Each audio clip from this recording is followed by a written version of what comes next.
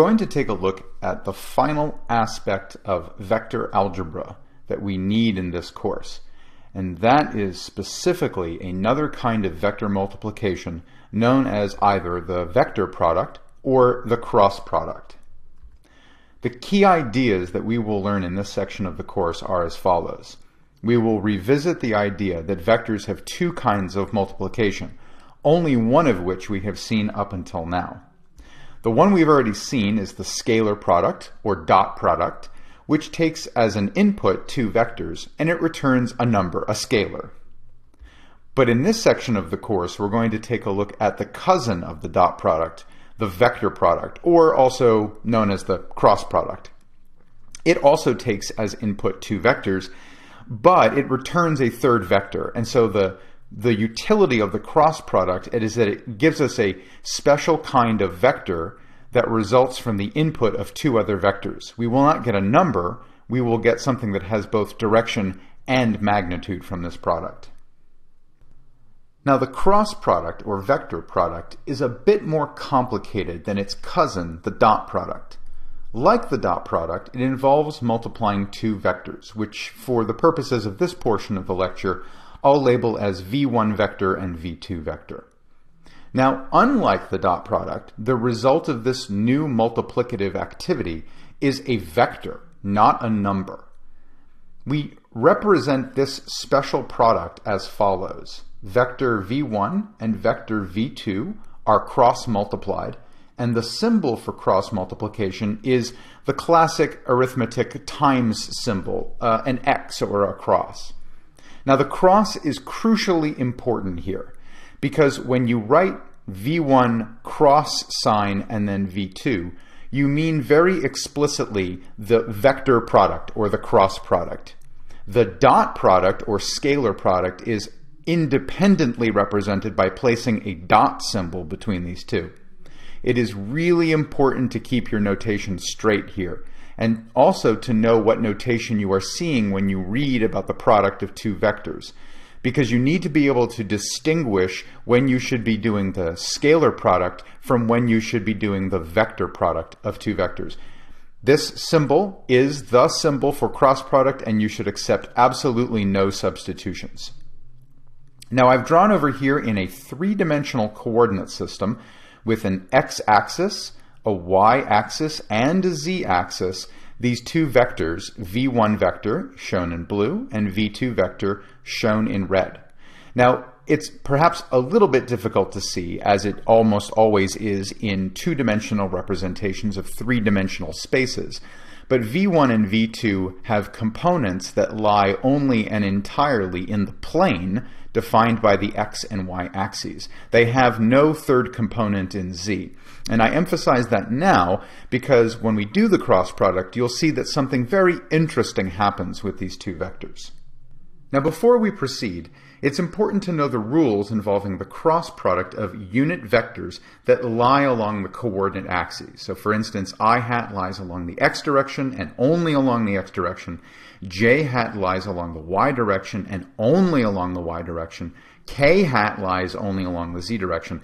These three unit vectors, i hat, j hat, and k hat, stand in for vectors that point only and entirely along one coordinate axes, and they are all at right angles to each other. Uh, i hat is perpendicular to j hat, j hat is perpendicular to k hat, and i hat is perpendicular to k hat.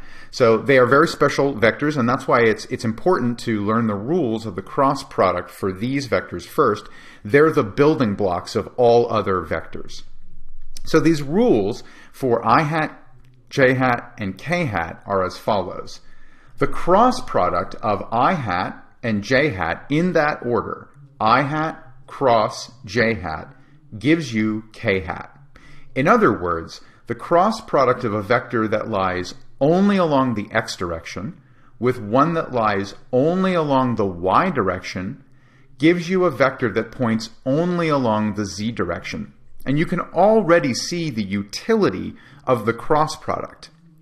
If you have two vectors like i hat and j hat, and you need a third vector that is perpendicular to those two, the cross product will help you. It's a very nice mathematical operation. So i hat cross j hat equals k hat. Now how do we get the rules in general for the unit vectors? Well, the trick to getting the rules for all of these unit vectors and how they multiply each other is to sort of think of i, j, and k as laying on a conveyor belt. A belt where when one symbol falls off the right-hand side of the, the machinery, it comes back and becomes part of the left-hand side of the machinery, and the other symbols shift forward in this, in this system. So for instance, I can, I can um, conveyor belt i, j, and k, so that K is now on the left, I takes the place of J in the middle, and J takes the place of K on the right. So again, compare the first line to the second line. What's happened? The symbol K has fallen off the end of this equation and reappeared at the beginning. I has shifted over one position, and J has shifted over one position. The symbols remain in the same places. The cross product symbol and the equal sign have not moved. So you can think of this equation as a machine where the pieces that fall off the right-hand side reappear on the left, and all the other pieces shift to the right by one space. This is known as a permutation. A permutation of these symbols yields the second equation. k hat cross i hat is j. And we can permute them or conveyor belt them one more time. We put j at the beginning, we shift k to the right, we shift i to the right, and we get j cross k equals i. Now I'm dropping the hats here to speed this up a little bit, but you get the rhythm of this. I cross J is K, K cross I is J, J cross K is I. Now if you conveyor this one more time, what equation do you get? Well, if you noted that if I falls off the right-hand side and then reappears on the left, J shifts over one, K shifts over one, that you get back to I cross J is K, then you're correct. In fact, this cyclic permutation of these three symbols will yield automatically from the first equation all of the rules that I've shown you so far. But these aren't the only rules you can imagine. For instance, if i hat cross j hat is k hat, well then what is j hat cross i hat? Notice that j hat cross i hat appears nowhere in these three equations. What is that cross product equal to? Well, the answer lies in the following. If you swap any of the two symbols on the left-hand sides of the previous equations, so i cross j, k cross i, j cross k, and change them to j cross i, i cross k, and k cross j, then you will get a negative sign appearing in front of the symbol on the right-hand side of the equation. So if i cross j equals k, j cross i is negative k, and so forth. So again, if you can remember that i cross j equals k, and that simply conveyor belting or cyclically permuting those symbols in their positions in the equation will yield you three of the equations, the next three can be obtained by taking the first three, swapping the order of the multiplication on the left, and a minus sign appears on the right-hand side.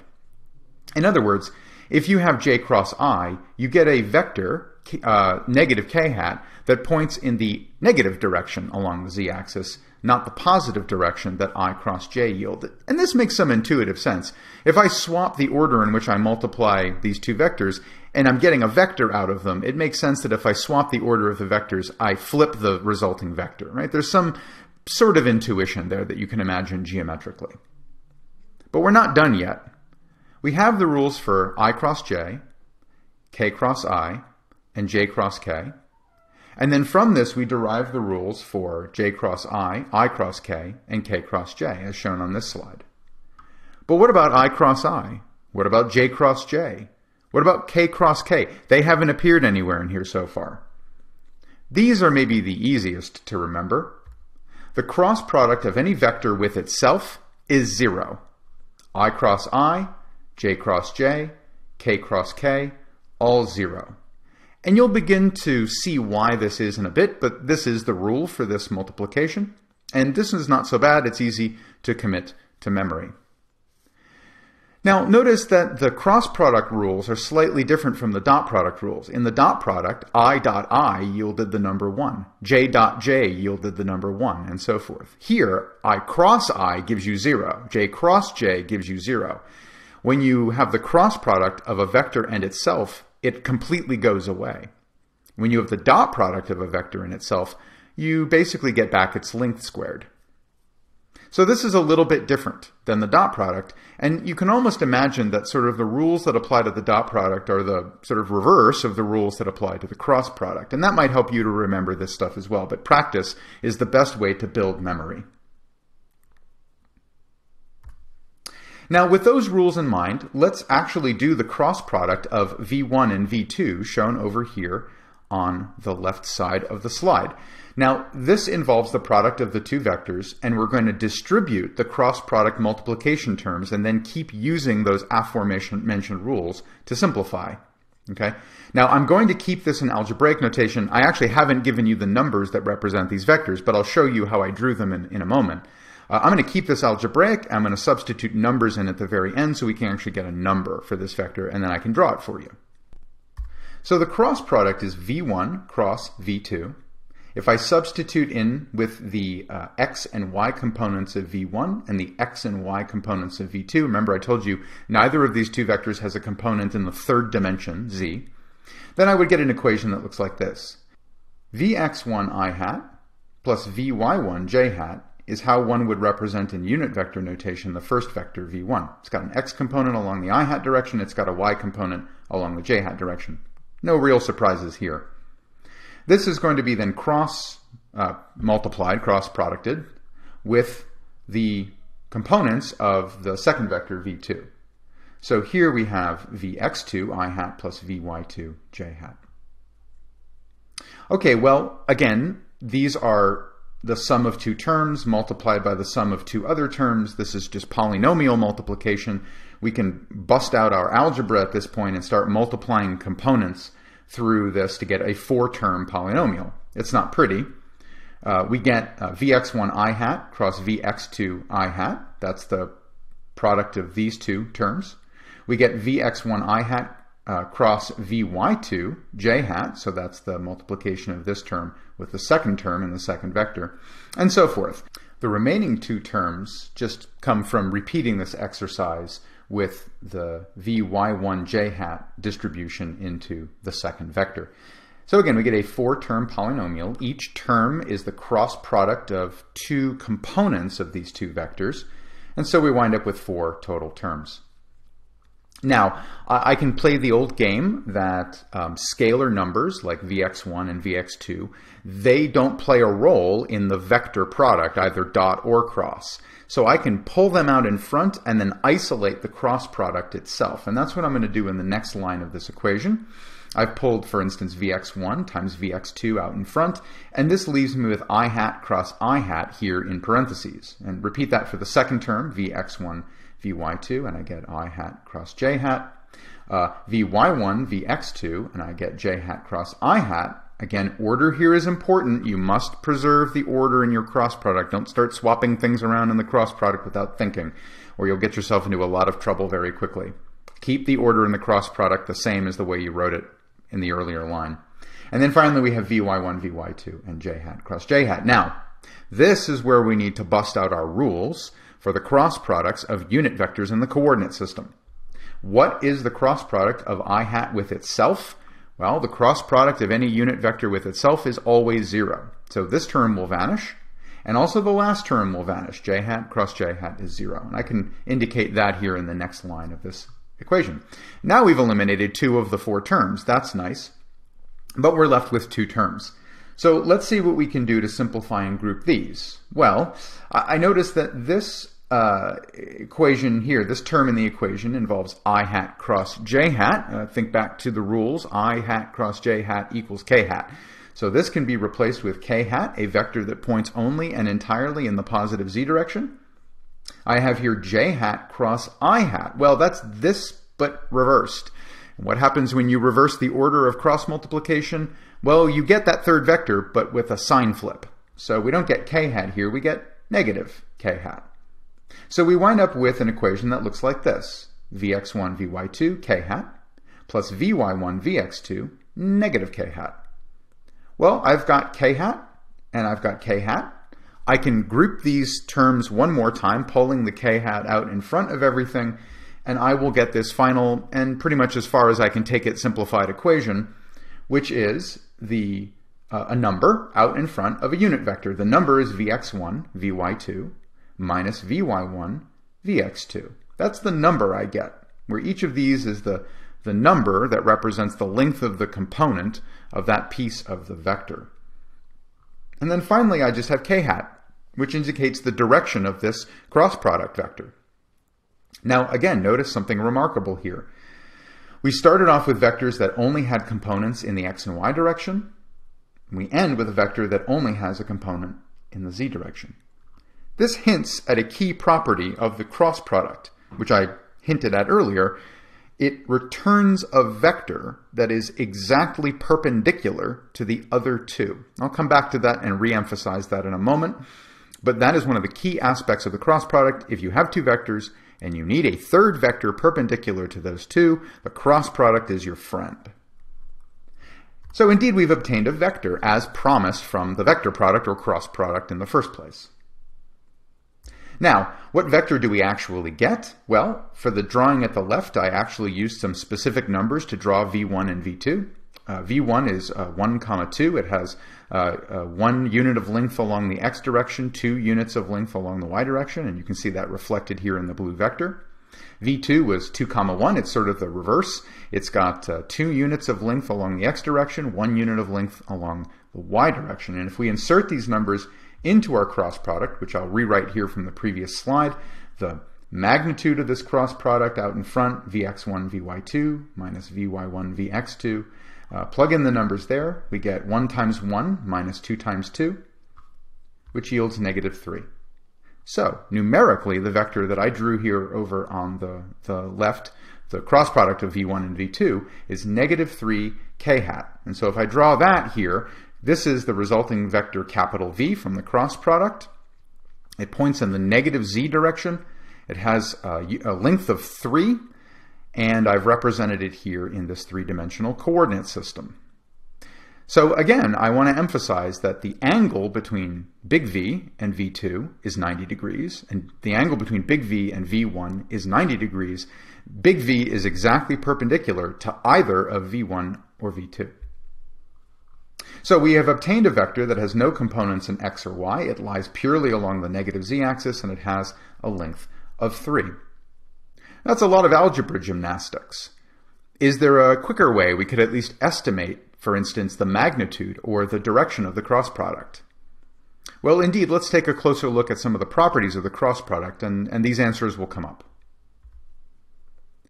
So what the heck is the vector represented by the cross product? It's, it's great that we got one, uh, but what exactly are its properties and what sort of physically does it mean?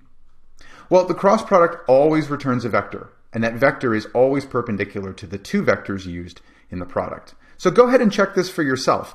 Take the vector I just got, big V, negative 3k hat, dot product it with either v1 or v2. If you have two vectors with a 90 degree angle between them, the dot product always yields zero. Remember, the magnitude of the length of a dot product goes as the cosine of the angle between them. The cosine of 90 degrees is zero.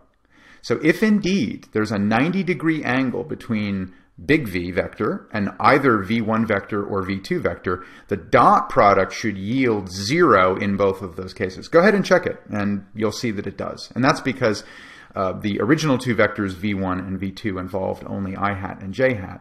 The third vector, its cross product, uh, involves only k hat, and k hat dotted into i hat is 0. k hat dotted into j hat is 0. You'll see that it's exactly true.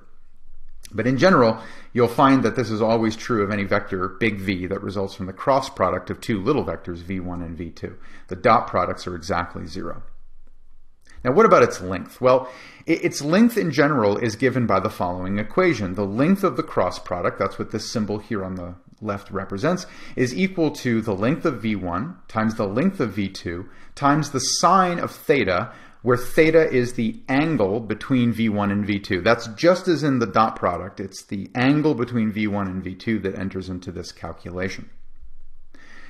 Now in the dot product, V1 dot V2, the resulting number represented the physically the following. It was the length of one vector, say V1, multiplied by the component of the second vector, V2 cosine theta, that lies along the first. That's what V2 cosine theta was. It's a projection of V2 onto V1.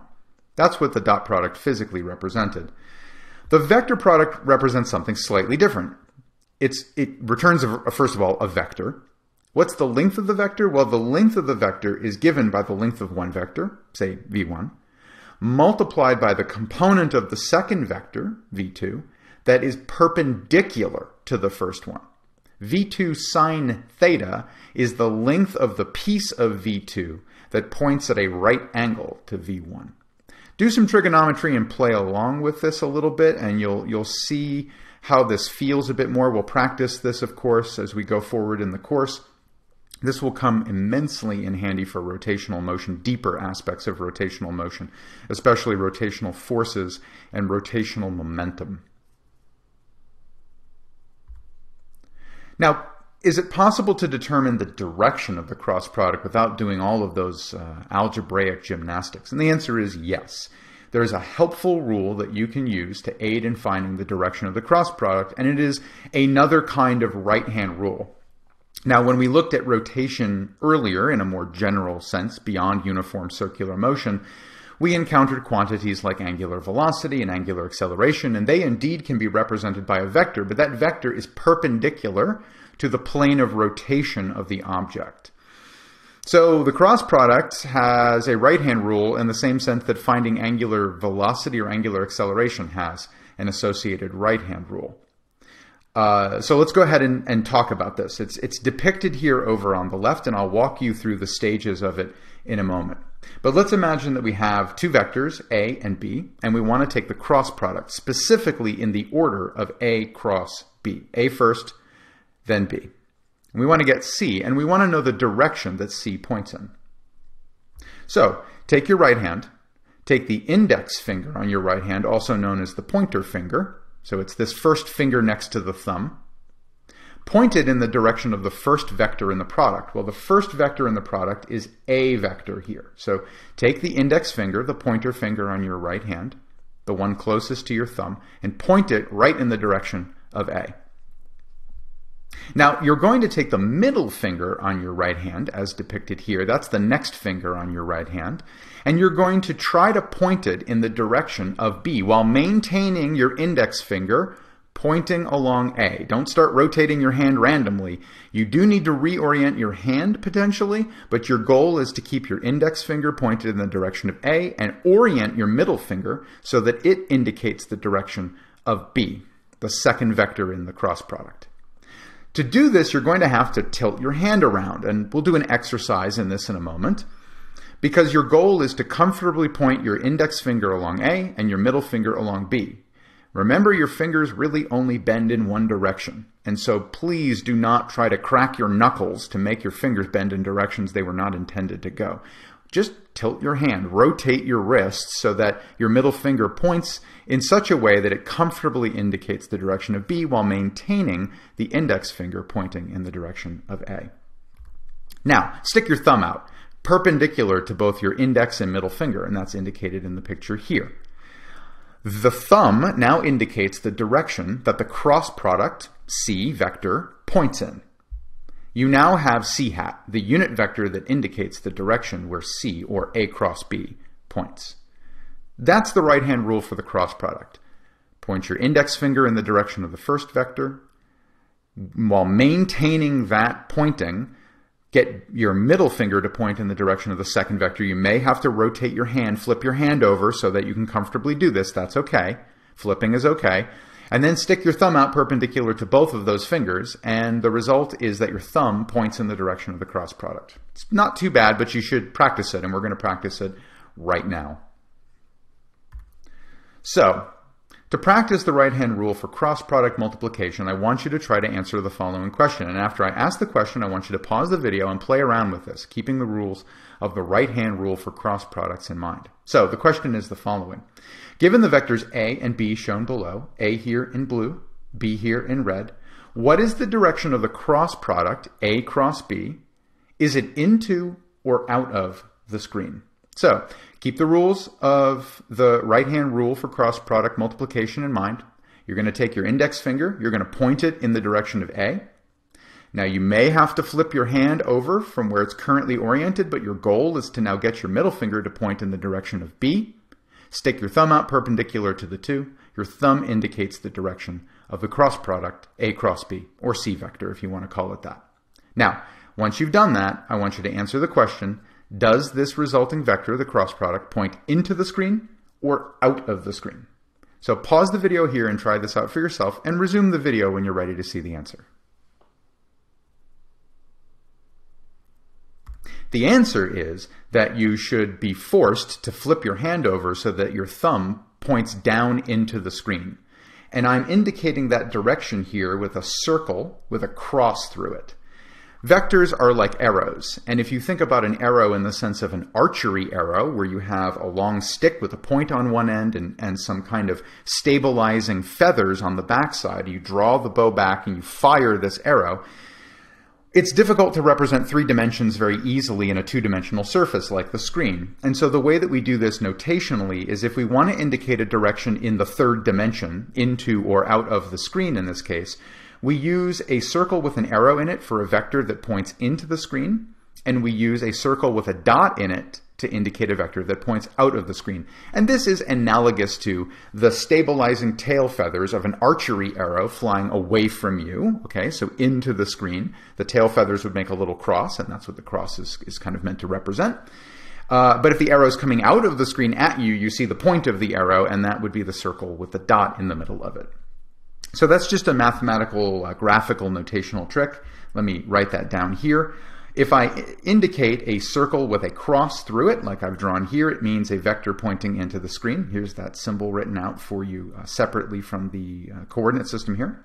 If instead I had drawn a circle with a dot in it, it means a vector pointing out of the screen, and that's indicated here. Now for this problem, again, in order to answer the question, where does the cross product point, you have to point your index finger in the direction of A. You're forced to flip your hand over to get your uh, middle finger to point roughly in the direction of B. Your thumb then points down into the screen, and so to represent that direction down into the screen, I use this symbol, a circle with a cross through it. Now, as a bonus question, you could answer the following. What direction does the cross product B cross A point in. So you could try that as a variation on the above question.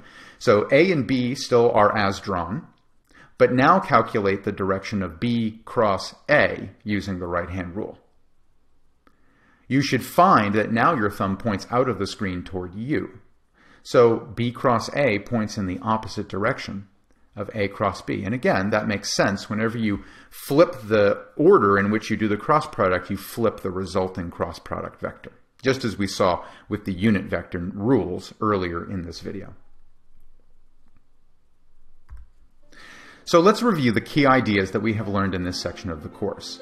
Vectors, as we have now fully emphasized, have two kinds of multiplication, we've reminded ourselves that the scalar product or dot product takes as input two vectors, but it returns a number, just a scalar number. It could be positive or negative, but it's just a number.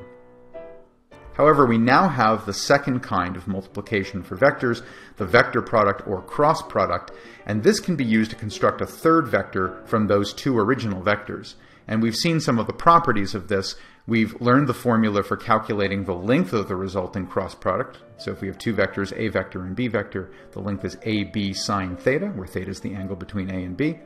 And we've learned a right-hand rule for this, in addition to all the algebraic rules for the actual unit vectors, to help us find the direction of the third vector very quickly. The right hand rule can be used to very quickly check a calculation where you have ground through the algebra of i cross j, j cross i, i cross k, and so forth. Uh, it's good to help build some intuition to use the right hand rule in conjunction with a full algebraic calculation so that you have a comfort zone on calculating these things. We're going to use this cross product going forward. It's a necessary ingredient in understanding rotational motion, and more to the point, describing the vectors associated with rotational momentum and also forces associated with rotations.